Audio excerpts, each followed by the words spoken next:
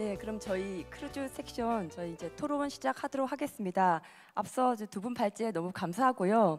사실 저는 이제 그 아까 온라인 연결이 조금 덜 돼서 사실 중국 쪽 그 희가의 선생님 얘기를 먼저 듣고 사실 이제 심상희 교수님 얘기 듣고 싶었는데 순서는 바뀌었지만 저희가 중국 시장에 대한 이해도도 희가의 선생 덕분으로 좀 하게 된 것 같습니다.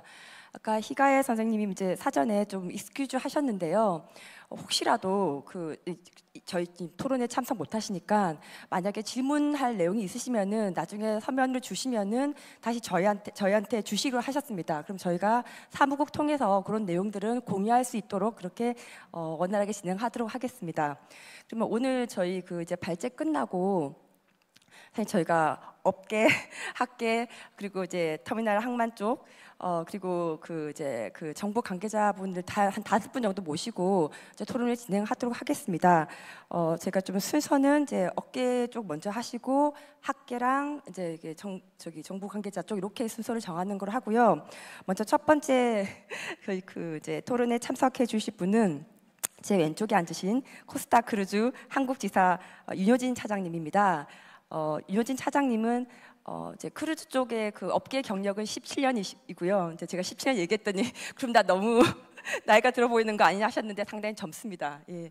어찌 17년 경력을 가지고 있고 코스타에는 한 6년 정도 경력을 가지고 있어서 한국 시장에 대한 이해도도 높고요.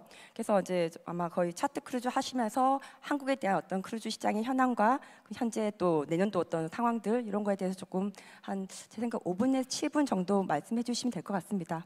네, 부탁드리겠습니다. 네, 안녕하세요. 코스타에서 근무하고 있는 윤효진입니다.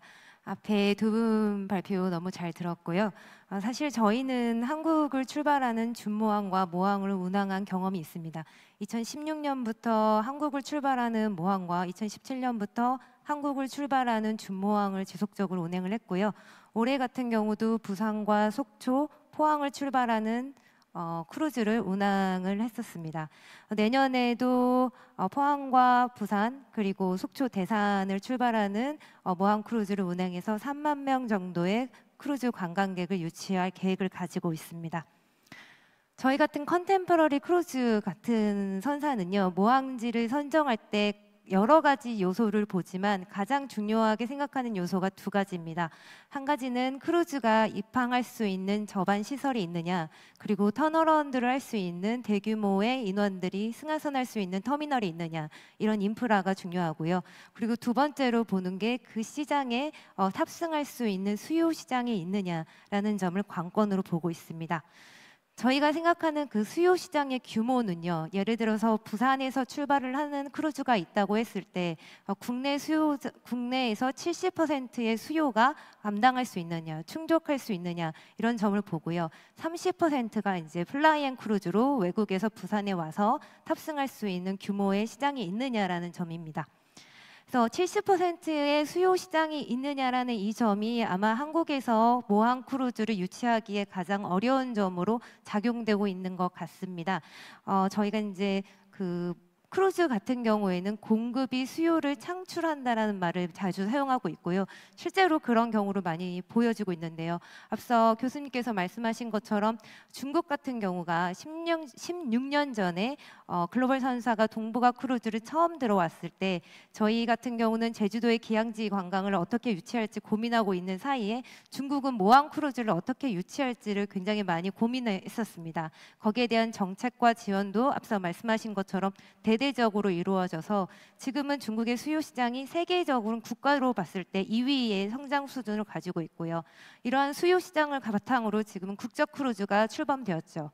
국적 출범 국적 크루즈가 출범될 뿐만 아니라 지금 현재 중국은 건조를 할 수 있는 기술력까지 확보를 하였습니다. 그런데 안타깝게도 한국은 16년 전이나 지금이나 마찬가지로 어, 언론이라든지 정책에서 반영되는 것은 어떻게 기항지를 더 많이 유치할 수 있을까 무항보다는 기항지에 더 편승된 편중된 어, 그런 정책 방안이나 지원 등에 의해서 어, 모항에 대한 그런 중요도가 조금 어, 간과되고 있는 것에 대해서 아쉬움을 감출 수가 없습니다. 모항지 유치는 산업의 다양성과 확장을 위해서, 위해서는 당연히 반드시 필요한 부분이라고 생각합니다. 그래서 앞서 말씀드린 것처럼 모항을 유치하기 위해서는 수요 시장에 대한 개발과 발전이 반드시 이루어져야 된다. 이런 부분은 다시 한번 말씀드리고 싶고요. 어, 그런 여러 가지 측면에서 봤을 때 부산은 국내에서 모항지로서의 성장 가능성에 가장 많은 부분을 가지고 있지 않나라는 부분 생각이 됩니다. 어, 부산 같은 경우는 수도권과의 접근성도 용이하고 관광 인프라도 많이 발전되어 있기 때문에 어, 국내 분들이 쉽게 크루즈를 탑승할 수 있는 지역일 뿐만 아니라 외국 분들도 부산에 오셔서 관광 인프라를 즐기고 싱가포르처럼 어, 부산에서 출발하는 크루즈를 탑승할 수 있는 여건을 가지고 있다. 그래서 국, 그래서 이제 국가적인 차원에서 장기적인 관점에서 저희가 기항제에만 유치하는 데 치중하지 말고 어, 장기적이고 단계적인 발전을 통해서 어, 모항지를 유치를 통해 수요 시장을 개발할 필요가 있다라고 말씀을 드리고 싶습니다. 너무 길게 말씀드렸네요. 죄송합니다. 네. 아, 네, 감사합니다. 어, 아마 이제 글로벌 선사 입장에서 모항을 모항을 보는 기준과 그리고 아마 부산의 어떤 모항의 잠재력에 대해서 또 말씀해 주셨는데요. 네, 감사합니다. 어, 이제 다음에 모신 분은 이제 프린세스 크루즈입니다. 사실 코스타 크루즈랑 프린세스 크루즈는 좀 조금 어, 다르죠. 앞서 이제 윤효진 차장님께서 이제 contemporary 크루즈라고 코스타를 말씀하셨는데요.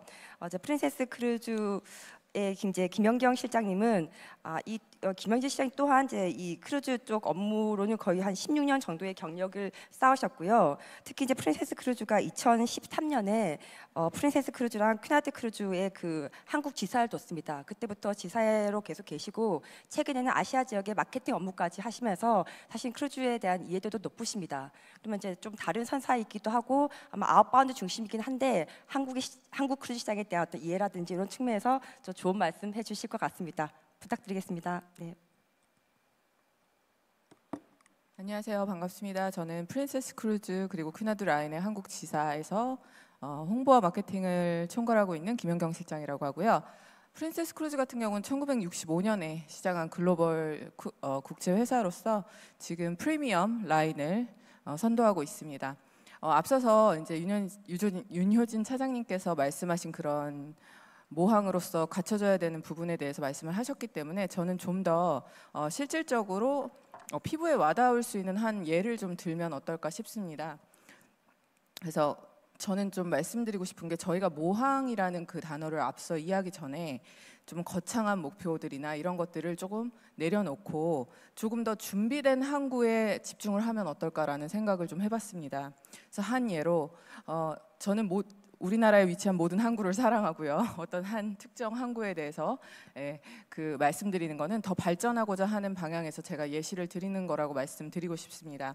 제가 올해 저희 가족과 함께 이제 저희 브랜드 선사의 크루즈를 타고 이제 일본 일정을 돌다가 제주항에 들어오게 됐습니다. 제주항에 들어오면서 제가 실제로 목도한 실제 상황들을 좀 바탕으로 말씀을 드리면 어떨까 싶은데요. 어, 제주항은 일단은 인프라가 구축되어 있죠. 국제 크루즈 시설이 마련되어 있기 때문에 국제적인 크루즈들이 실제로 기항을 하고 있습니다. 근데 그 전에 앞서서 저희가 어, 기항지 모항이기 전에 기항지이기 전에 그 전에 그 많은 일본의 그 항구들을 기항하다가 중간 기항지로서 이제 제주에 제가 내리게 되었죠. 그래서 사실 이제 내렸을 때 그 제주 강정항에는 그 출입국 사무소까지 나가기 위해서 항구에서 벗어나기 위해서 거의 한 1km 넘는 길이의 무빙 워크를 걸어서 어, 나가야 되는 상황이에요. 근데 그 길이가 사실 직접 다리를 걸어서 체험을 하게 되면 굉장히 긴 거리입니다. 그래서 크루즈에 많은 승객들이 대부분 건, 건강하신 분들도 계시지만 그리고 때로는 이제 다리가 불편하신 분들도 계시고 또 연령대가 높은 경우도 계시기 때문에 그분들이 사실 이 1.한 4m가 되는 무빙 워크를 걸어서 나가시는 그 길이 굉장한 피로감으로 다가올 수가 있거든요. 그래서 그런 무빙 워크를 걸었을 때 제가 좀 많은 생각이 들었습니다. 어, 단순히 이런 그 나가기 위한 구조물로 있는 것이 아니라 그 긴 어, 터미널 안에 뭔가 제주를 홍보할 수 있는 큰 스크린을 설치를 해서 그 걸어가는 여정이 그냥 내가 나가기 위한 수단이 아니라 지루하지 않은 제주의 어, 역사를 한번 훑어본다던가 아니면은 우리나라의 이제 위상을 뻗치고 있는 BTS의 영상 같은 것도 틀 수가 있을 거고요. 아니면 그 제주도를 뭐 대표하는 그런 구조물들을 설치해서 그 길이 조금 더 지루하지 않는 방향을 조금 더 모색하여 그 길을 보완한다면 조금 더 손님들이 내렸을 때 어, 제주에 대한 인상이 좋아지지 않을까라는 생각을 했고요. 그리고 이제 그긴 어, 무빙워크를 지나서 항구를 나가자마자 택시들의 횡포를 보기 시작합니다. 이제 거기에 정박해서 있는 그 항구에서 내리는 손님들을 대상으로 그 올레 시장이라는 곳까지의 접근성이 쉽지 않잖아요. 제주의 특성상 그 접근성이 먼 것을 이용해서 택시분들이 어, 돈을 요구함에 있어서 좀 무리스럽게 돈을 부른다든가 어, 여기서 지금 나, 나의 택시를 이용하지 않으면 당신은 어디를 갈 수 없는 것처럼 말씀하신다든가 저희가 그때 다섯 명이 나갔었는데 인원을 딱 보시더니 딱 하는 말이 어 거기는 다섯 명이니까 만 원 더 내시오 이렇게 얘기를 하시더라고요. 근데 과연 이런 것들이 그 2천 명이 넘는 손님들이 한국을 방문해서 그 얼굴이라고 할 수 있는 항구 시설을 넘어섰을 때 마주하게 된다면 그 인상이 참 안타깝지 않을까 싶습니다. 그리고 그로 인해서 이제 주변 시설에 부재가 있을 수 있는데요. 이제 아름다운 그 항구 터미널을 마련해 놨지만 그 안에서 제주를 소개할 수 있는 나가서 제주를 여행하고 안내해 드릴 수 있는 안내 인포데스크의 역할을 하는 곳이 너무나 작더라고요. 그리고 그 당시에 한 분이 계셔서 수고를 하고 계셨어요. 근데 이전에 제가 방문했던 많은 일본의 항구들에서는 어, 굉장히 많은 수의 인원들이 나와서 일본을 전하고 계셨고 또 그 일본 기념품들이라든가 이런 것들을 전할 수 있는 많은 방향들을 실제로 제 눈앞에서 이렇게 어, 펼쳐진 모습을 보니까 그런 부분들이 손님들 입장에서는 바로바로 다음 항구를 가면서 겪게 되면서 피부로 와닿는 순간이 되는 거거든요. 그래서 그리고 항구에 도착했을 때 늘 얘기하는 거지만 이거는 꼭 제주에 국한돼서 말씀드리는 건 아닙니다. 지금 한 예시를 제 경험에 빗대어 얘기하는 거지만 모든 항구에서도 그렇습니다.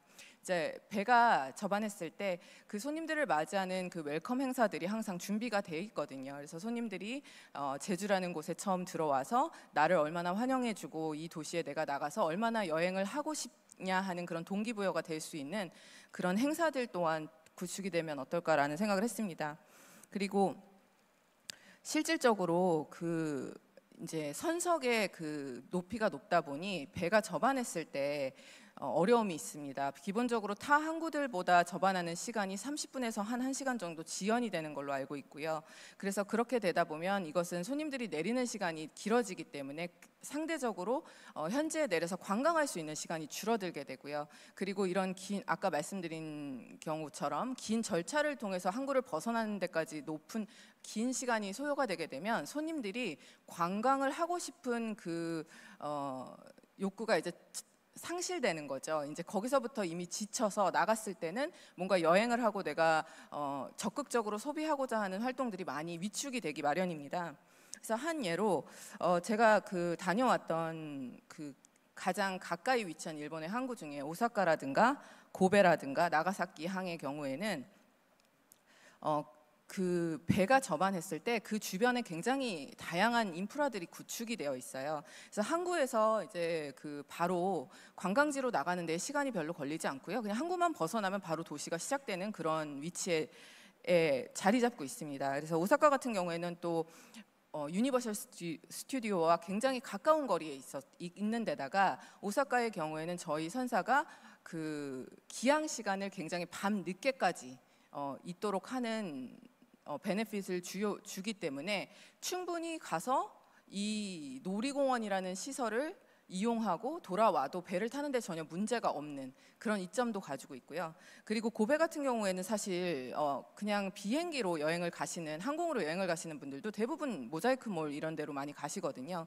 근데 그런 몰의 그 근접 위치가 굉장히 가깝습니다. 택시를 타고 나가서 그냥 조금만 가면 모든 몰이라든가 편리 시설을 바로 맞닥뜨릴 수 있기 때문에 그리고 관광지의 접근성이 너무나 좋습니다. 이런 부분들이 어, 우리나라에서 조금 더 생각해 봐야 될 문제가 아닌가 싶습니다. 왜냐하면 어, 상대적으로 우리나라에 있는 그 손님들이 기항을 했을 때 저희 보통 도시로 예, 들어가는 그 방법들이 너무나 어려울 때가 많고 시간도 오래 걸리는 데다가 그 정보의 부족으로 인해서 가서 어떠한 관광과 어떤 시설을 어, 이용해야 되는지에 대한 부분들이 손님들이 준비가 안 되어 있는 경우가 너무 많이 있거든요.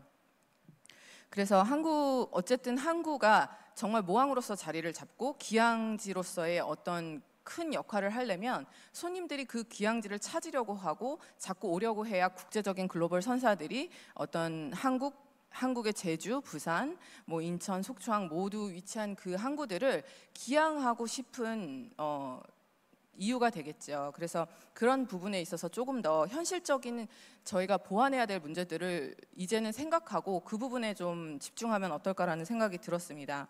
그래서 그 구- 어떤 글로벌 국제 선사로서 항구 시설에 대한 중요성을 더 빠르게 캐치하고 늘 모니터하고 있기 때문에 우리나라의 항구들이 지금 현재 우리나라가 어느 정도의 수준이고 어떠한 어, 입지적인 위치를 가지고 그리고 어떤 수준으로 손님들을 맞이하고 있는가에 대해서 조금 더 집중을 더 해야 될 것 같아요. 그리고 지금 이제 아무래도 이 해양 포럼이 테크놀로지에 대한 부분들이 접목이 돼서 하는 만큼 크루즈는 사실 그 기술적인 문화 부분에 있어서 절대 멀리할 수 없는 부분이거든요.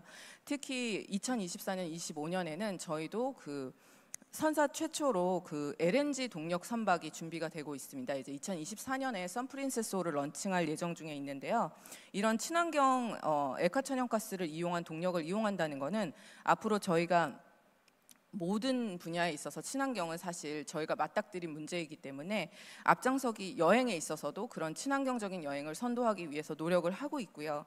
그리고 대표적으로 말씀드린 기항지 중에 알래스카를 예를 들면 좀 피부에 와닿으실 것 같습니다. 아무래도 알래스카 같은 경우에는 굉장히 자연을 보기 대자연을 보기 위해서 우리가 여행을 할 때가 많은데요.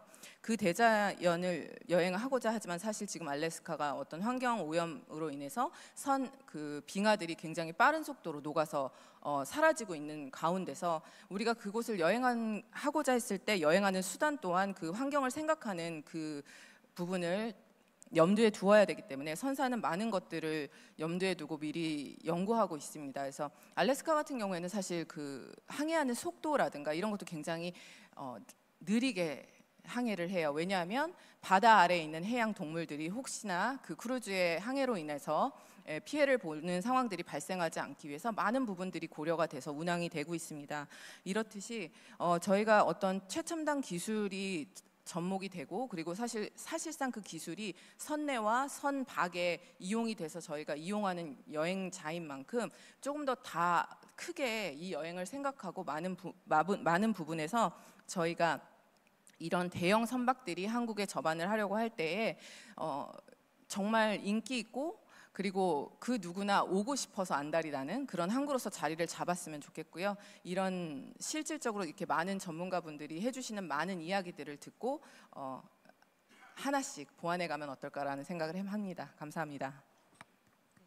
네, 감사합니다. 김영길 실장님. 아마 김영길 실장님은 또 이제, 이제 글로벌 크루즈에 계시면서 사실 저희가 모항이든 기항이든 아, 처음 하선했을 때 그 첫 대면지가 사실 터미널입니다. 그렇기 때문에 터미널에서의 어떤 서비스 quality 이런 거에 대한 그 좀 중요성을 좀 얘기를 해주신 것 같아요. 또 사례를 좀 들으면서 그리고 또 저희 원래 본래 주제인 또 Blue Technomy와 연계해서 크루즈의 어떤 친환경적인 얘기도 함께 좀 얘기를 해주신 것 같습니다. 네, 감사합니다. 예. 다음에는 이제 그 제가 잠시 터미널 얘기를 했는데요. 제가 다음에 좀 모신 분은 이제 터미널 전문가입니다. 제가 온라인을 통해서 이제 모신 분은 어, 여러분 아마 잘 아실 것 같은데 블라디보스토크 해양 터미널 대표 이사니 대표 이사님인 발레리 나고르니 대표님입니다. 어떻게 온라인 지금 연결되어 있죠? 계속 지금 보이시는 것 같은데요. 어, 어떻게 연결 지금 아, 아 네. 아, 반갑습니다. 저 발레리 나고르니. 대표님은 그. 아, hi. 네, 반갑습니다. 그 제가 잠시 좀 소개 좀더 드리겠습니다. 예, 예. 조금 더 소개 좀 드리면은 그 어, 발레리 나고르니 대표 이사님은 블라디보스토크의 항만 산업 분야에만 18년간 재임을 하셨고요. 어, 그리고 지난 2020 아, 이- 지난 2015년부터 블라디보스토크 해상 터미널 ACC 대표 이사를 맡고 있습니다. 그리고 아마 여러분 이제 그 저희 그 코로나 이전에는 사실 제가 환동의 크루즈에서 한국, 일본, 블라디보스토크 이 세개 지역의 어떤 그 크루즈 라인이 가장 활성화되었기 때문에 또 나고르니 대표 이사님은 한국에 대한 이해도도 높으십니다. 네, 이런 측면에서 오늘 좋은 말씀 좀 부탁드리겠습니다. 네, 한 5분에서 6분 정도 네, 바- 부탁드리겠습니다. 네. 감사합니다. 예, 잘 들리십니까? 잘 들리십니까?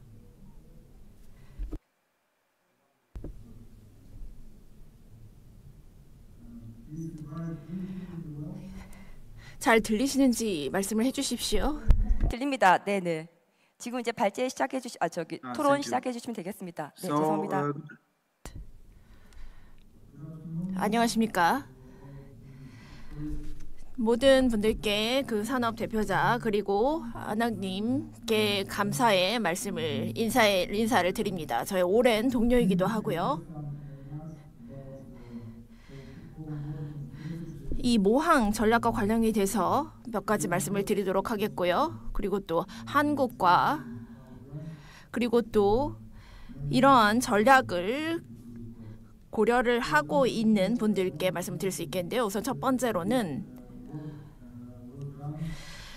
굉장히 여러 가지 노력이 이루어졌다. 그래서 이 한국의 크루즈 관광에 있어서 많은 노력이 이루어졌고요.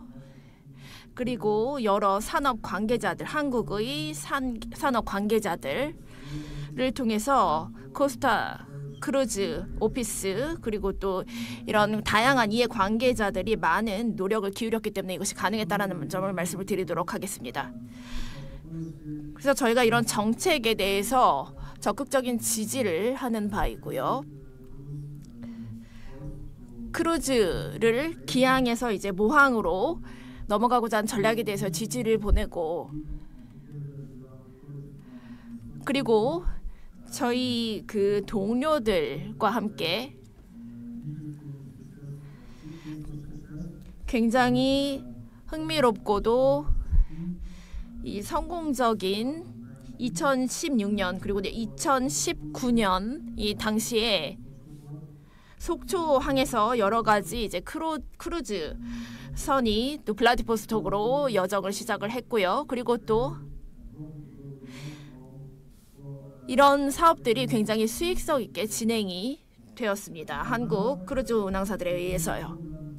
그런데 한 가지 문제점이 있다 한다면 크루즈 선박의 부재입니다.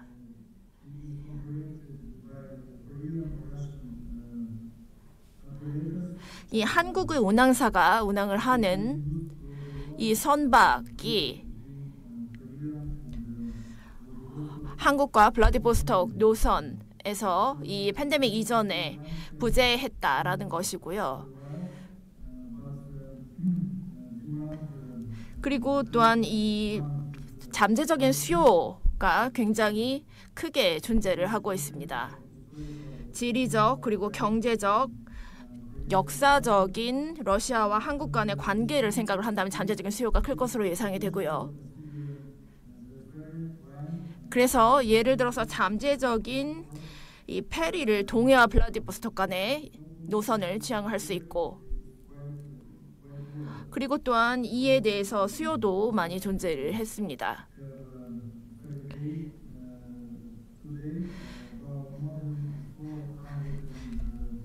그리고 현재 400명 이상의 승객들이 이 페리에 승선을 했고 그리고 지금 동해항으로 향, 향하고 또 여정을 하고 있고요. 저희가 마켓 플레이어들과 시장 참여자들과 협의를 하면서 어떻게 이 크루즈 선박을 용선하거나 아니면 구매를 하고 그리고 또 이를 통해서 한국과 러시아 간의 취항을 할 수 있을지 이런 것들 이야기를 했는데요. 이것이 상호 굉장히 수익성이 있는 그리고 저희가 앞으로 많은 비즈니스를 창출할 수 있는 한 러 간의 시장이라고 생각을 합니다. 그래서 한국과 블라디보스톡이 이렇게 모항을 향해서 나아가는 전략을 추구할 수 있을 것이라고 생각을 하고요. 그렇지만 말씀드렸다시피 문제는 바로 그 역량입니다. 그리고 또 적절한 선박도 갖추어야 하겠죠. 저희가 협의를 하면서 러시아 연방 이 관광 기관들과 관광청과 이야기를 하면서 이 승객 같은 경우에 이 어떻게 외국 여객들이 블라디보스톡에서 승선을 할 수 있고 그리고 또 부산과 또 인근 지역으로 여정을 이어갈 수 있을지에 대한 내용을 협의를 했습니다. 그래서 이것은 한러 간의 협력의 측- 측면에서 말씀을 드리는 것이고요. 그리고 또한 저희가 성공적인 사례가 있었는데요. 2020년 이전에 팬데믹 이전에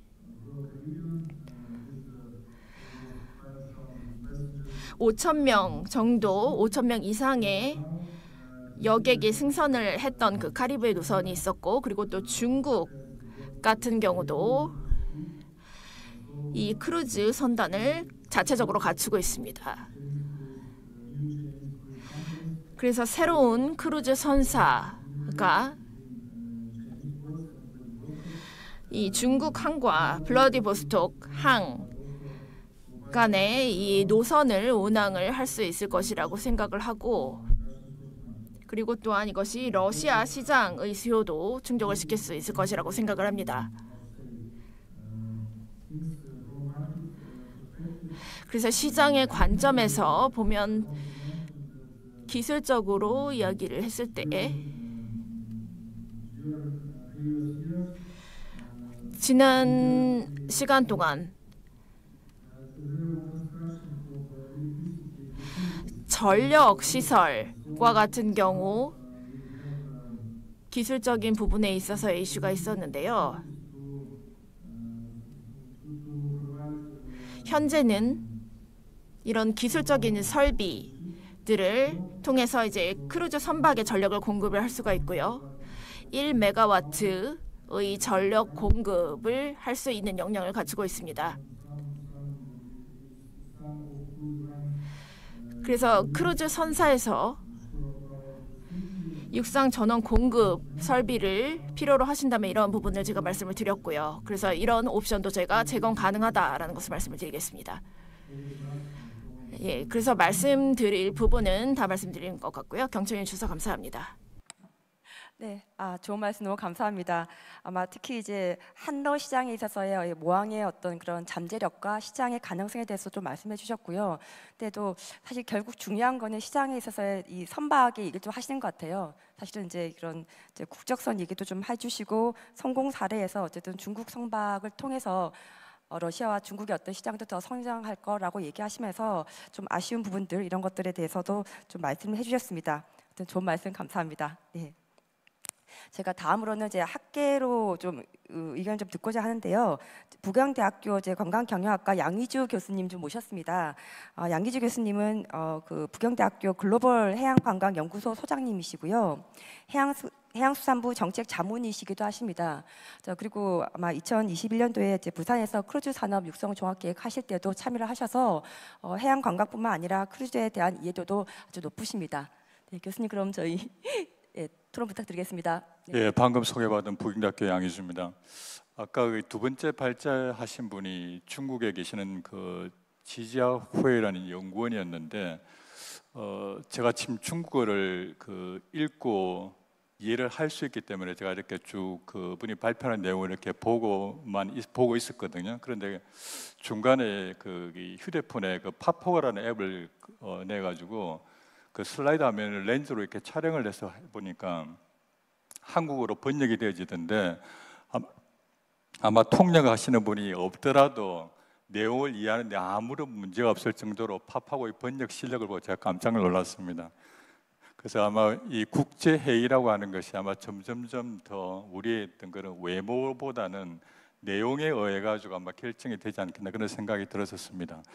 예, 조, 어, 조금 전에 어, 두 분의 발제자 분과 그리고 어, 네, 세 분의 그 토론에 대한 내용을 들었는데 저는 그 정책적인 그런 측면에 있어서 어, 몇 가지를 좀 보고자 합니다. 어, 가장 큰 이유는 앞서 그 좌장께서도 말씀하신 것처럼 2021년도에 부산 크루즈 산업 육성 종합계획 수립을 하면서 어, 국내외 크루즈에 대한 여러 가지 어떤 문제점들 그리고 현황들을 파악할 수 있는 계기가 되어졌기 때문에 오늘은 그와 관련해서 몇 가지만 좀 말씀드리도록 하겠습니다. 아마 여러분들도 알고 있- 있다시피 지금 국내에 크루즈 입항 실적이 있는 어, 항구 중에서 어, 국, 어, 크루즈 전용 부두라든지 국제여객 터미널이 이렇게 갖춰진 항만은 다섯 개에 불과합니다. 부산, 제주, 인천, 여수, 속초 그리고 올해 서산이 지금 국제 크루즈와 관련해서 모항에 대한 그 계획들이 있는데 이런 그 여섯 개의 그 지방 자치단체들이 대표적으로 제안한 정책들이 보면 대부분 다 모항입니다. 기항으로의 있던 그런 그 포지션이 아니고 다 모항으로의 포지셔닝입니다. 그리고 거기에서 나왔던 보고서들 보면은 크게 모항에 대한 전략이 대동소이하다고 보시면 될 것 같습니다. 그런데 지금까지 이런 거기 어 지자체라든지 또 거기 뭐 크루즈 포럼 관련돼서 이렇게 내용들을 갖다 제가 쭉 한번 검토를 해보니까 크게 두 가지의 어떤 그런 이슈들로 이렇게 clustering이 되어지는 것 같아요. 첫 번째는 뭐냐면은 이 포럼에서 논의되었던 내용들이 어, 마케팅과 관련된 내용들이 하나가 있고 또 하나는 뭐냐면은 크루즈 인프라 구축에 대한 내용 크게 이렇게 두 가지로 어, 포럼에서 논의가 되어진 것 같습니다. 그리고 마케팅과 관련해서는 보면 대부분 크루즈 선사라든지 여행사, 그 국제 규모의 크루즈 선사나 여행사 또는 바이어를 유치를 어떻게 할 것인지 이런 것들 그리고 설명회 그리고 또 다양한 해외 크루즈 선사와 어떤 네트워킹 또는 크루즈 관광객 유치 방안 또는 기항지 도시 관광 이런 소프트웨어적인 측면이 마케팅과 관련되지고 후자 같은 경우에는 대부분 모항 개발이라든지 뭐 모항의 인프라 기반 조성이라든지 또는 뭐 국적 선사라든지 국적 선박 설립 이런 하드웨어 중심의 크게 두 가지로 어, 논의가 이렇게 맞춰지고 있는 것 같아요. 그런데 우리가 여기서 주목해야 될 것은 이 마케팅과 관련해서는 주로 문화체육관광부나 또는 그 지역의 어, 관광공사가 중심이 돼서 정책이 추진되어지는 반면에 후자의 경우에는 해양수산부라든지 port authority라 그러죠. 지역 항만공사가 이렇게 중심이 돼서 추진이 되어집니다. 그러다 보니까 이게 문제가 뭐냐면은 이 크루즈 국제 관광객 유치라든지 이슈가 모항이 되어지면 해양수산부가 중심이 되어지고 관광객 유치가 되어지면 문화체육관광부가 되다 보니까 실제 크루즈와 관련되어진 어떤 정책 자체가 이렇게 중앙 부처 간에 있어서도 업무 조정이라든지 이 가버넌스가 좀 제대로 되어지 않는 면이 많지 않았나 생각이 들어집니다. 그래서 향후에는 이에 대해서 조금 전략적인 접근이 좀 필요하다는 생각이 들어지, 들어집니다. 그리고 작년에 그 16차 부산 세계해양 포럼에서 그 해양수산부 어, 해양레저 관광과장께서 어, 2023년도에 크루즈 5개년 계획 수립이 되어진다고 했었는데 실제 올해 1월 달에 어, 크루즈 산업 육성 기본 계획이 발표가 되어졌습니다. 아마 여러분들도 잘 알다시피 이, 이 5개년 법정 계획의 비전은 이렇게 되어 있습니다. 쉽고 접, 쉽게 접하고 편하게 즐기는 일상 속의 크루즈 여행이라 되어져 있고 목표는 크게 세 가지를 제시하고 있습니다. 외국의 국, 어, 외국적 크루즈선 연 300항차 입항, 여행객 50만 명 또는 다양한 크루즈 상품 제공으로 국내 모항객 연 10만 명. 그다음에 세 번째는 국적 선사 출범을 통한 지속 발전 가능한 크루즈 산업 생태계 이렇게 세 가지가 조성이 되어져 있습니다. 그런데 어, 우리가 오늘 주제인 home port와 관련해서는 지금 2차 크루즈 산업 육성 기본 계획에는 전혀 언급이 되어 있지 않습니다. 그래서 지금 오늘 우리가 이 home port와 관련된 이 전략을 논의하는 것 자체가 사실 국가의 어떤 그런 전략이 없는 상태에서 우리가 논의를 하는 것이 과연 어떤 의미가 있을까 이런 생각을 참 많이 하게 되어집니다. 반면에 거기 두 번째 발표를 하셨던 그 중국의 경우에는 어, 정말 이 크루즈 관련된 이 모항에 대한 어떤 전략이 너무나 잘 되어졌다는 생각을 참 많이 했었습니다. 그 중에 하나가 뭐냐면 이런 전략을 수립하기 위해서 보통 이 크루즈가 그 국가의 지금 어떤 발전 단계에 있는지에 대한 분석이 있어야 되는데 중국 같은 경우는 지금 현재 이 크루즈 발전 단계를 3단계로 구분을 해가지고 맹화 단계, 그다음에 계속 성장 단계, 조정 단계 이렇게 세 가지를 구분하고 있더라고요. 그러니까 이것만 보더라도 이 국가의 어떤 전략이라고 하는 것이 단계별로 구체화되어 있다는 생각을 참 많이 하게 되어졌었습니다. 그리고 그에 따른 어떤 전략의 어떤 과학성을 입증하기 위해서 정확한 통계 수치로서 이렇게 타당성을 증명하는 그런 접근들이 굉장히 인상적이다는 생각이 들어집니다. 그래서 오늘 홈포터 관련해서 우리가 국가 전략이 조만간 좀 빠른 시간에 설정이 돼야 될 것 같은데 이와 관련해 가지고 이 중국의 사례를 볼 때 한 두 가지 정도가 있어야 되지 않겠나 생각이 들어집니다. 첫 번째는 우리나라 지금 상황에 맞는 이 크루즈의 어떤 발전 단계에 대한 거기 충분한 리서치가 있어야 되겠다는 생각이 들었고 두 번째는 지금 크루즈 산업 육성을 한다고 하지만 실제 우리나라의 지금 크루즈 산업 생태계가 어떻게 구성되어져 있는지에 대한 지금 어, 분석은 지금 전혀 되어 있지 않는 것 같아요. 그리고 실제 이 크루즈 산업이 산업으로서 어떤 어떤 그 경쟁력이라든지 또는 크루즈 산업의 연관성에 대한 어떤 그런 여러 가지 어떤 분석들을도 그렇게 어, 과학적으로 지금 조성이 되어 있지 않나 생각을 참 많이 했었고 그 다음에 또 한 가지는 뭐냐면은 이 생태계가 조성이 되어지려고 그러면은 이 크루즈 산업에 의한 어떤 그런 가치 사슬 체계가 명확하게 제시가 되어져야 될 것 같아요. 그래서 이런 세 가지에 대한 것들이 명확하게 국가 전략으로서 제시가 돼야 된다 이런 생각이 들어집니다.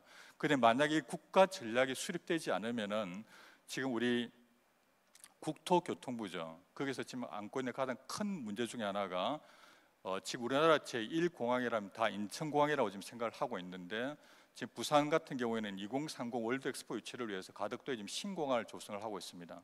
부산 사람 입장에서는 아, 대한민국에는 two port, two port 시스템을 간다 이렇게 생각하고 있지만 중앙정부의 입장에 생각 전혀 다른 것 같아요. 중앙정부는 우리나라에는 인천국제공항이 one port고 그 이외에는 다 지방 공, 공, 어, 공항으로서 인식할 가능성이 높다는 이야기죠. 제가 이야기를 하는 이유가 뭐냐면은 이 국가의 그 home port 이 전략에 있어서는 반드시 이 우선 체계를 갖다가 설정하지 않으면 굉장히 큰 문제가 생길 수 있습니다. 가장 대표적인 게 지금 저, 지방에 우리나라에 지금 보면 지방에 국제 공항 붙어 있는 공항들이 얼마나 많이 있습니까? 그런데 지금 그 국제 공항들이 어, 유치를 못 해가지고 얼마나 또 많은 어려움을 겪고 있고 또 지방 재정에 치명적인 타격을 미치고 있습니까? 그래서 우리나라도 지금 해양수산부에서 가능한 한 빠른 시일 내에 국가 그 home port에 대한 전략을 수립을 해서 이 여러 가지 지금 거론되어지고 있는 여섯 개 도시에서 제 이야기하고 있는 이 home port에 대해서 명확하게 어, 전략적 거기 어, 우선 순위를 갖다가 제, 어, 제시를 해가지고 육성을 하는 것이 좀 합리적이지 않을까 좀 그런 생각을 해보았었습니다.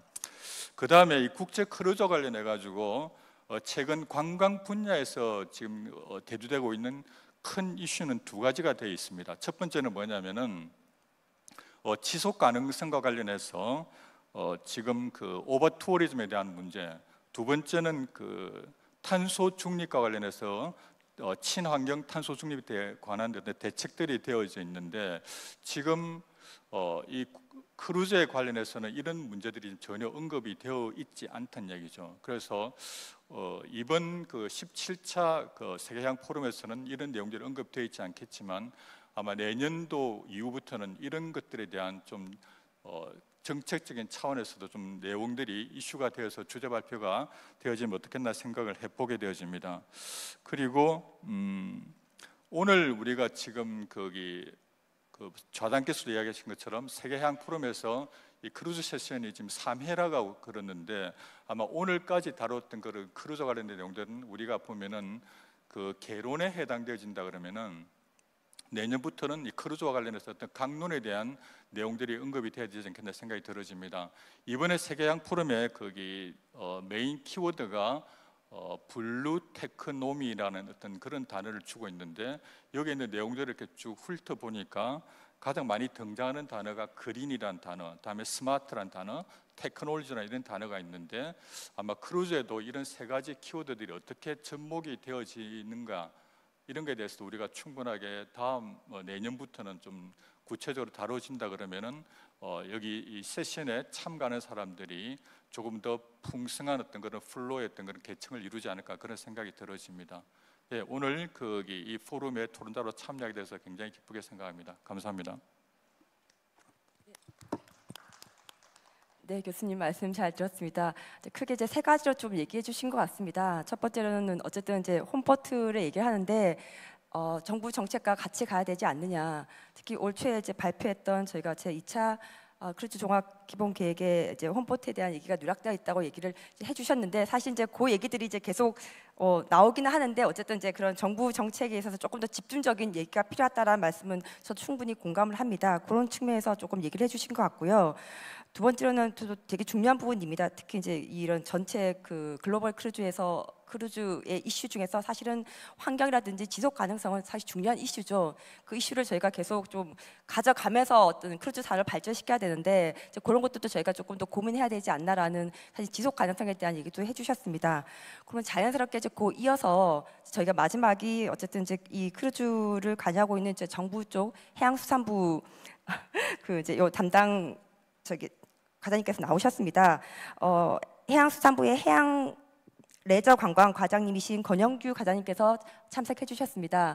어, 과장님은 작년 2022년 12월에 저희 레저과 과장님으로 오셨고요.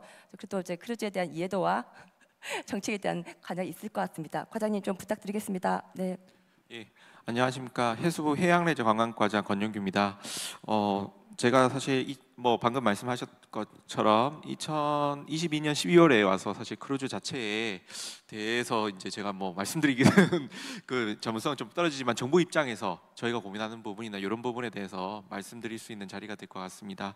앞서 말씀해 주셨던 발제하고 토론 부분 잘 들었습니다. 저희가 미처 생각하지 못했던 부분 그리고 앞으로 저희가 좀 더 챙겨야 되는 부분에 대해서 알 수 있는 계기가 됐던 것 같고요.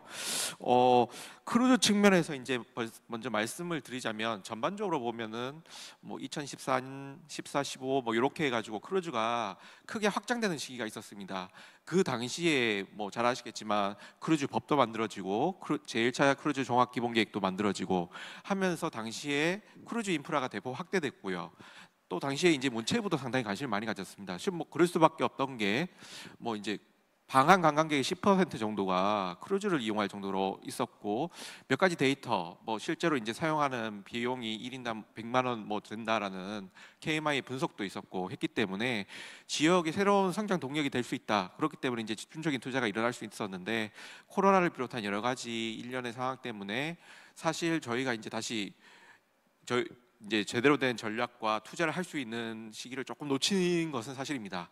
그럼에도 불구하고 다행스럽게 올해 이제 3월에 이제 크루즈가 이제 재개가 됐고요.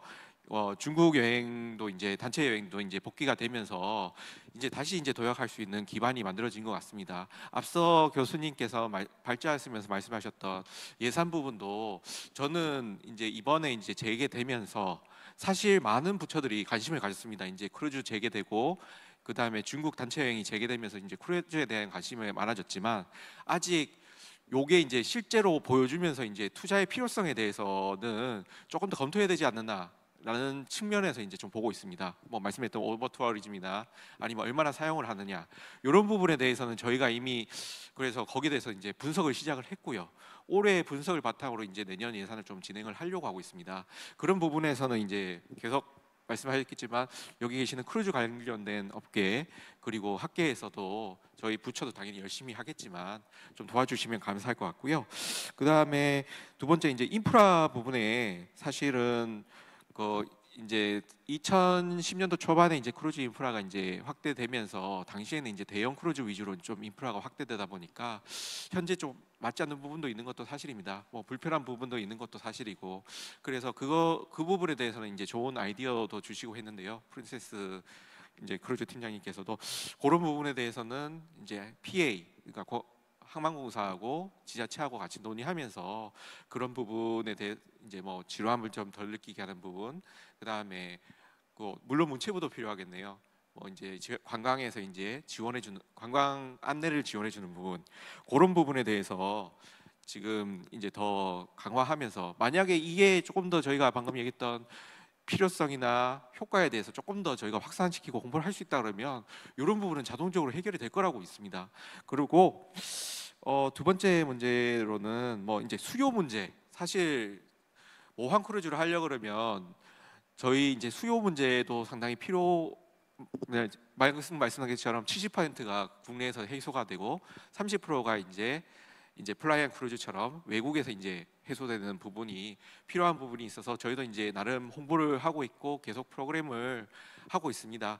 어 지금 이번에 이제 크루즈가 재개되고 하면서 이제 의외로 이제 언론에서도 상당히 긍정적으로 봤고 이번에 이제 속초에서 이제 2회 나갔던 크루즈 이후에도 이 외에도 이제 이제 저희가 이제 지원했던 프로그램 외에도 이제 자체적으로 지원했던 프로그램도 의외로 이제 그 인기가 좋아서 매진되고 뭐 제가 알기로 제 지인도 간다고 했는데 표가 없어서 다음 걸 타고 뭐 이렇게 얘기를 하더라고요.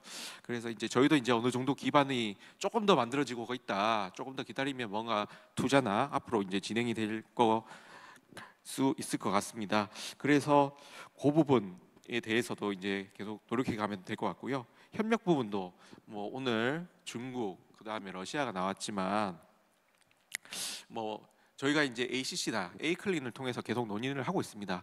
뭐 이제 가까운 사례로 이제 지난 7월에도 이제 그 국제 아 제주 국제 해- 크루즈 포럼을 통해서 이제 각 기항지하고 국가들하고 계속 이제 얘기를 나누면서 결국에 이제 크루즈가 활성화하게 되기 위해서는 한 port, 한 국가만으로는 해결이 안 된다. 모든 port와 모든 국가들이 연계돼야 된다. 이런 부분에 대해서 이제 뭐 의견을 같이 하고 있고 사실 사무관도 지금 ACC 회의 관련해 가지고 홍콩에 가 있는 상황입니다. 이런 식으로 해서 국제적인 협력도 지속해서 추진을 해 나가도록 하겠습니다. 예, 오늘 말씀해 주셔서 감사합니다. 예. 네, 과장님 말씀 감사합니다. 아마 정부에서도 많은 고민을 하시고 있으신 것 같아요. 특히 이제 올해 크루즈 재개되면서 좀 상황을 지켜봐서 내년엔 좀 더 적극적인 정책을 어, try하겠다라고 좀 말씀해 주신 것 같고요. 이제 그럼에도 불구하고 아, 아마 좀 더 많은 고민들이 있으신 있으신 것 같아요. 그리고 어쨌든 아마 계속 그 첫 번째 발제했던 심상진 교수님께서도 정부의 거버넌스 되게 중요하게 얘기하셨는데 해수부에서도 마찬가지로 지자체나 P, PA나 또는 문화부와의 어떤 그런 거버넌스에 대한 역할도 중요하다고 말씀을 해주시면서 어쨌든 저희가 오늘 이런 어, 두 분의 발제와 다섯 분의 전문가분들의 토론은 모두 마쳤습니다. 사실 좀 장시간 진행이 된 것 같기도 하고요. 아마 이제 그 저희가 시간이 또 촉박하기도 하고 많은 얘기들을 좀 하고 싶었을 때도 불구하고 어, 또 조금 부족한 부분이 있을 것 같은데 혹시 토론 조금 더 하실 말씀 있으실까요? 아 그러면은 제가 플로어에 혹시 저희 오늘 발제나 또는 토론하시는 분께 질문이 있으시면 제가 좀 질문을 받고 어, 서로 좀 Q&A 할 수 있는 시간을 갖도록 하겠습니다. 어떻게 조금 계실까요? 아 네. 예. 저기 그 성함이랑 예, 좀 간단하게 좀 부탁드리겠습니다.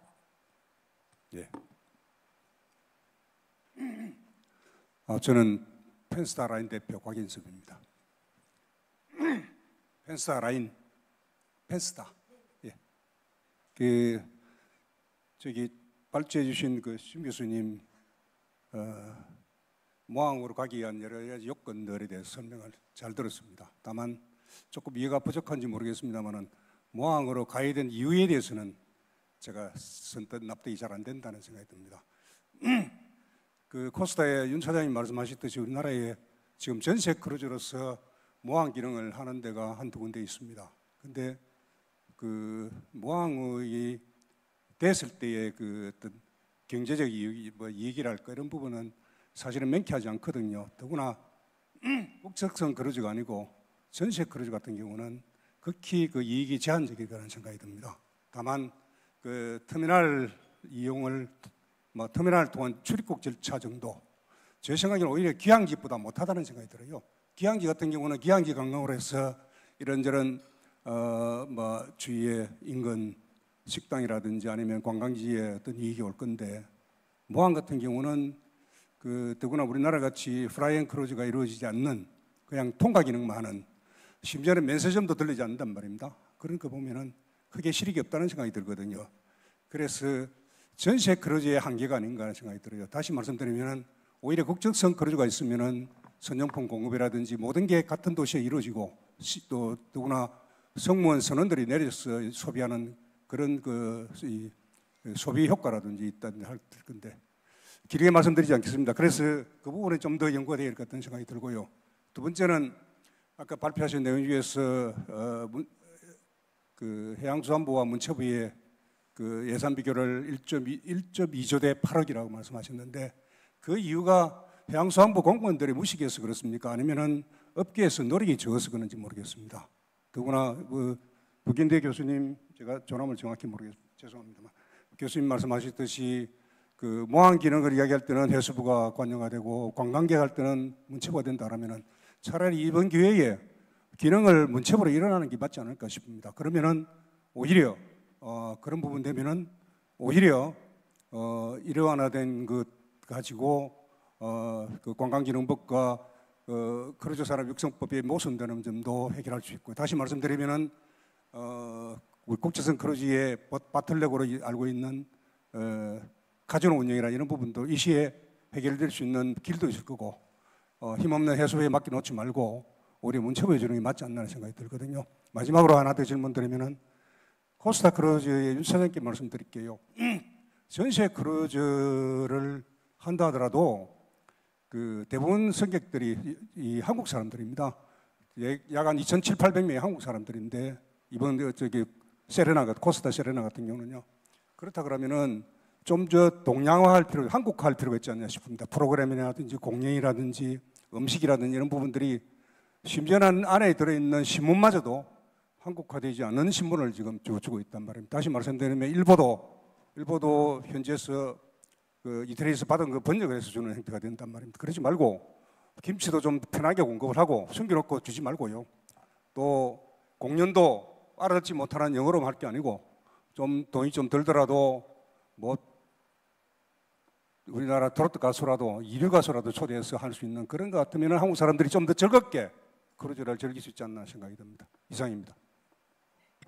아, 네, 질문 감사합니다. 제가 조금 그 다 들었는지 모르겠는데 두 분한테 어떤 저 질문을 주신 거죠? 예, 저기 심상진 교수님과 저기 이효진 차장께서 예 그리고 심상진 교수님께는 제가 조금 듣기로는 어쨌든 그 이 저세법보다는 결과적으로 이제 국제선 국적선이 더 경제적인 이득이 있지 않느냐라는 측면에서 의견을 물어보신 걸로 저는 그렇게 이해를 했습니다. 맞습니까? 예, 그러면 이제 그거에 대해서 심상진 교수님께서 조금 네 답변 부탁드리겠습니다. 예. 예, 좋은 질문 감사합니다. 이게 이제 크루즈뿐만이 아니라 다른 산업도 이 계단을 그 일정 게 있는데 현재 이제까지 정부에서 많은 돈을 투자해서 이제 크루즈 항은 만들어 놨습니다. 크루즈 항이라는 것은 주차장만 만들어 놓은 거예요, 지금. 주차장이 됐으니 들어와라 하는 건데 그 주차장을 어떻게 이제 활용을 할 건지 어떻게 운영을 할 건지에 대해서 우리가 지금 고민하는 거거든요. 또 우리 저 양 교수님께서 말씀해 주신 것처럼 국가에는 아직도 이 항구를 주차장을 만들어 놨는데 어마어마한 돈을 들여서 여러 개 주차장을 만들어 놨는데 이 주차장을 어떻게 활용할 거에 대한 계획이 없기 때문에 우리가 오늘 이러한 토론 시간을 통해서 모항이 왜 중요한지를 얘기를 하고 있는 겁니다. 모항이 왜 중요한지를 말씀드리면요. 자, 크루즈 때문에 우리는 그나마 있었던 부산에 있었던 크루즈가 들어올 때 관련 산업이 그나마 그래도 있었는데 코로나 동안에 크루즈가 안 들어오다 보니까 다 붕괴돼 버렸죠. 그런데 대만이라든가 싱가포르라든가 일본이라든가 중국은 국적선이 있습니다. 그, 그 국적선을 가지고서 조금씩이라도 운영을 했던 거죠. 그러니까 그 크루즈 관련 생태계가 그대로 살아 있는데 우린 다 붕괴돼 버렸거든요. 자, 그럼 코로나 같은 사태가 앞으로 또 오지 않으리라고 보장 못 하는데 그런 거가 올 때마다 우린 계속해서 망가질 거냐 하는 얘기죠. 그렇기 때문에 국적선이 있으면은 그런 그 생태계를 살려놓을 수가 있다는 말씀이고 지금 이 하여튼 그 주차장을 어떻게 활용을 할 건지인데 그럼 그 주차장을 활용을 하는 가장 좋은 방법이 국적선인데 말씀드렸던 것처럼 그 크루즈를 누가 운영을 할 거냐 하는 얘기죠. 현대라는 회사도 1년에 800억씩 한 달에 70억씩 돈을 쏟아붓는데도 어찌 갔든 중간에 관뒀고 하모니도 마찬가지고 그런데 그러다 보니까 우리가 너무 큰 그림만 그리지 말고 우리가 어느 대기업이 됐든지 어디가 됐든지 크루즈를 하겠다 그러면 박수를 환영을 해야 되겠지만은 그렇지 않으면은 저는 어, 페리보트라도 페리가 됐더라도 일단 시작을 하자는 겁니다. 그래서 페리라도 국적선이 있으면은 그것이 자리를 잡을 수 있도록 우리 모두가 도와주자 하는 얘기죠. 그런 의미이고요. 또 하여튼 그래서 그 모항을 왜 중국에서는 중요시 여기냐면은 모항이 있어야지 어, 국적선이 생길 수가 있는데 국적선이 생기려면 시장이 있어야 되잖아요. 모항이 있고 국적선이 있어야지만은 공급이 수요를 창출하게 됩니다. 그렇죠? 그러다 보면 관광, 그 크루즈 관광이 많아지면 중국의 예를 드는 겁니다. 어, 관광객이 많아지면은 결국은 그 배는 시작을 했죠. river 크루즈로 뭐 몇백 명짜리가 몇천 명이 되고 또 지금 중국은 모항을 운영하다 보니까 관광객이 많아지고 또 내년까지 300만 명을 유치하겠다고 하는데 어, 그러다 보면은 그 크루즈를 만들어야 되는 필요성이 생기는 거죠. 그러면 우리가 지금은 어, LNG 선 같은 거는 전 세계 발주량의 70% 내지 80%를 과점을 하지만은 크루즈는 정말 존재감이 전무가 제로거든요. 자, 그러면 중국의 정책은 어떤 거냐? 크루즈 모항으로 해서 국적선을 만들어서 거기서 관광객이 늘어나니까 크루즈를 건조를 하는 거거든요. 크루즈 건조를 중국은 어떻게 보냐면 제가 잠깐 그 PPT에서도 말씀드렸지만 굉장히 전략 산업으로 보는 겁니다. 왜? 크루즈를 만든다는 것은 항공모함보다 더 어려운 아주 하이테크 산업이에요. 그래서 중국 정부에서는 이번에 C919에는 그 자체적으로 그 제트 항공기를 만들었죠. 160석 내지 170석짜리 항공기 제트 항공기를 만들었는데 이제 에어버스하고 또 보잉사하고 그 다음에 중국이 들어갑니다. 그런데 크루즈 산업을 어떻게 생각을 하고 있냐면은 항공기 산업과 견주는 굉장히 하이테크 산업으로 보는 거죠. 그 모든 시발점이 모항이 있느냐 없느냐에서 시작이 되기 때문에 모항이 중요하다는 말씀을 드린 겁니다. 감사합니다. 네, 교수님 답변 감사합니다. 혹시 이제 더 예, 감사합니다. 아마 두 번째 질문이 이제 예, 코스타 크루즈의 아마 전세선 운영이 대부분 이제 수요가 내국인인데 내국인 중심의 어떤 엔터테인먼트에 대한 고 의견인 것 같습니다. 네. 예, 예. 네, 좋은 말씀 감사드리고요. 아, 사실 저희의 컨셉이 Italy at Sea라는 컨셉을 가지고 있습니다.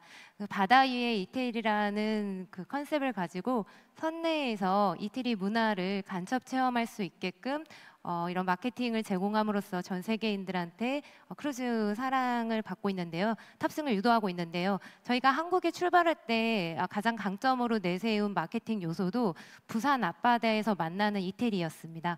그래서 부산에서 오시는 탑승객들이 내국인 들이 어, 좀 더 편안하게 그 대신 이제 언어적인 지원 부분을 하기 위해서 어, 한국 승무원들을 많이 고용해서 어, 각 부서마다 배치가 되어 있고요. 어, 한국적인 컨텐츠다 가- 컨텐츠도 가미되었지만 그래도 이제 이색적인 이태리의 컨텐츠를 체험함으로써 어, 멀리 비행기를 타고 가지 않아도 부산 앞바다에서 편안하고 어, 불편함 없이 어, 이태리의 경험을 해보라는 게 저희의 컨셉이기 때문에 그런 외국적인 그런 체험 요소가 많이 있다 있었다라는 점을 말씀드리고요. 아, 앞으로 한국인의 저희가 지금 차터를 운영하는 이유는 그 기간이 굉장히 단발적이지 않습니까? 근데 저는 이제 한국적인 크루즈가 만들어지려면은 이 기간이 좀 지속적으로 운행이 되어야 되고 한국에서 떠나는 크루즈가 지속적으로 출발할 때 지금은 단기간으로 차터가 이용되기 때문에 그 fly and 크루즈의 유치가 쉽진 않지만 만약에 뭐 대만처럼 4월부터 9월까지 지속적으로 크루즈가 유치되는 timeless적인 그런 차터가 진행된다면 외국인 관광객들 fly and 크루즈도 충분히 유치할 수 있다. 그리고 심 교수님께서 말씀하신 것처럼 국적 크루즈가 생기면 저는 바다 위의 이태리가 아니라 바다 위의 한국을 경험할 수 있는 그런 뭐 Korea at Sea로 유럽을 한번 운항해 보는 것도 좋은 마케팅 요소가 되지 않을까라는 생각을 해보았습니다. 감사합니다. 아, 네, 감사합니다. 어떻게 답변 됐을까요? 네, 아, 감사합니다. 혹시 또 있을까? 이- 어머, 네.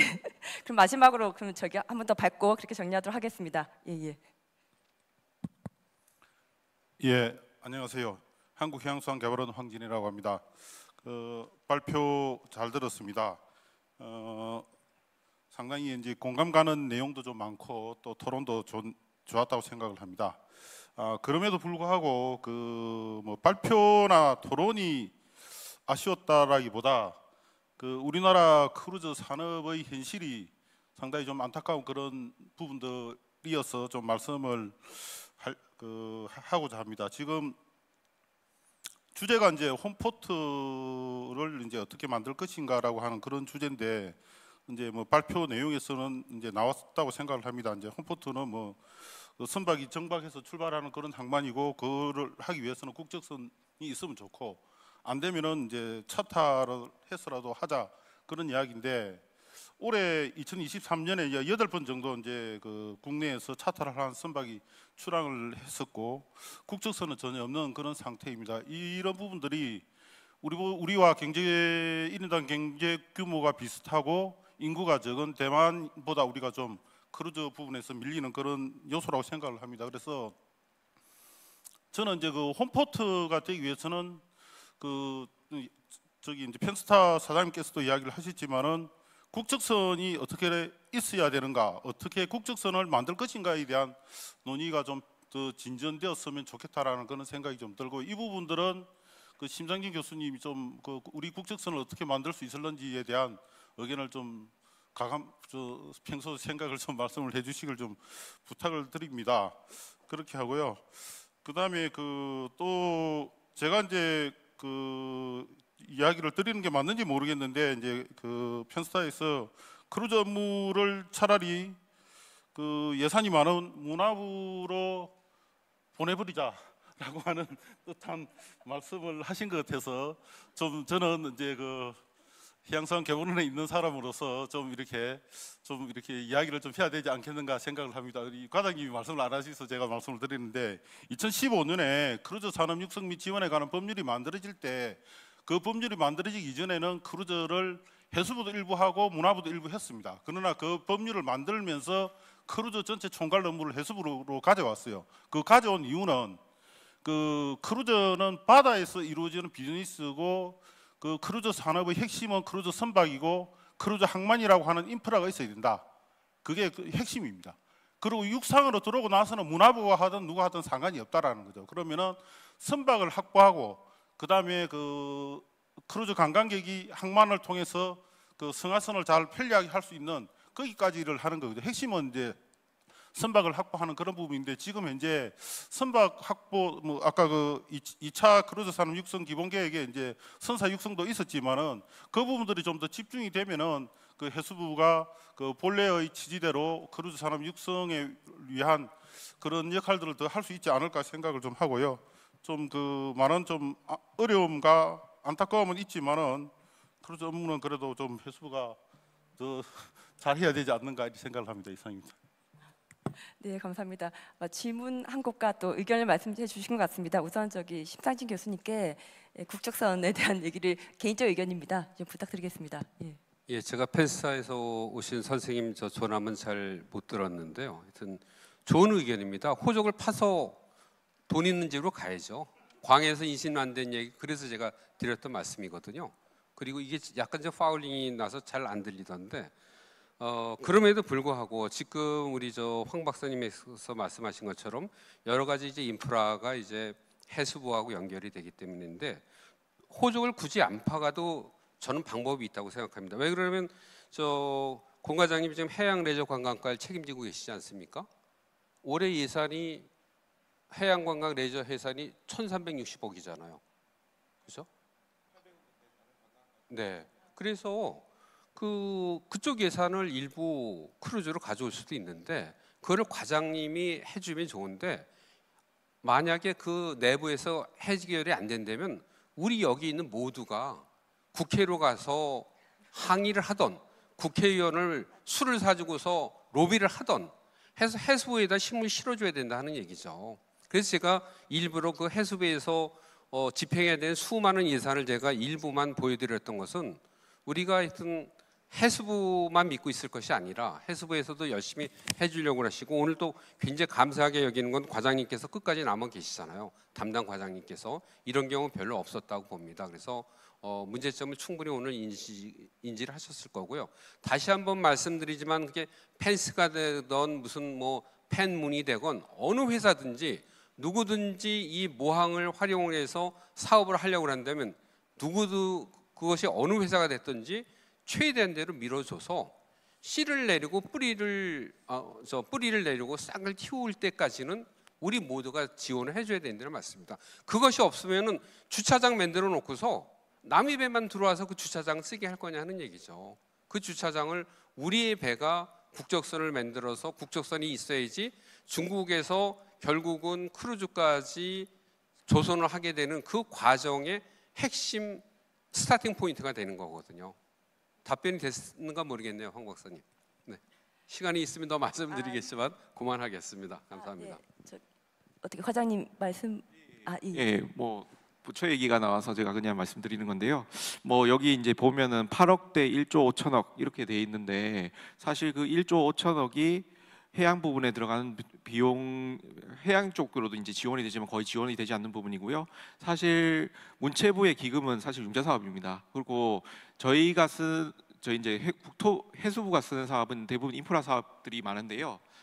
지금 말씀하셨다시피 1조 5천억의 융자와 저희는 사실은 그동안 했던 게 사실 크루즈 부두와 크루즈 터미널을 투자하는 부분에 있어서 상당히 투자를 많이 했었고 그게 문체부가 했으면 할 수 있었을까? 할- 사실은 문체부는 인프라 사업 자체를 못 하도록 돼 있습니다.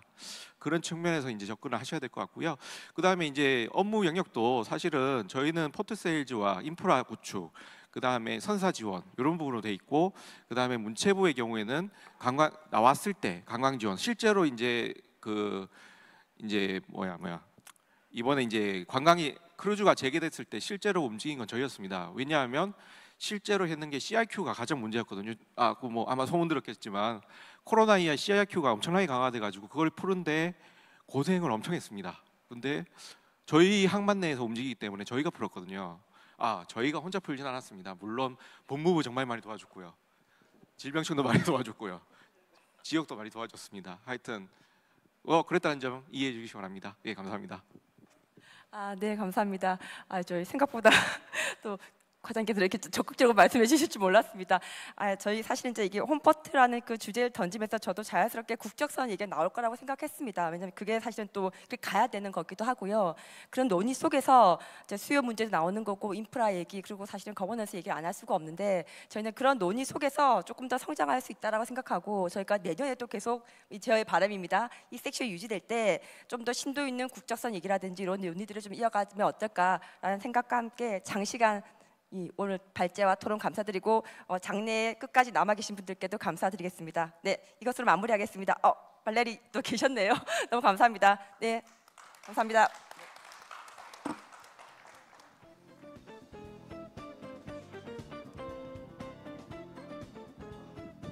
네, 참석자 여러분들께서는 잠시 기념 촬영을 위해서 무대에 자리해 주시면 감사하겠습니다.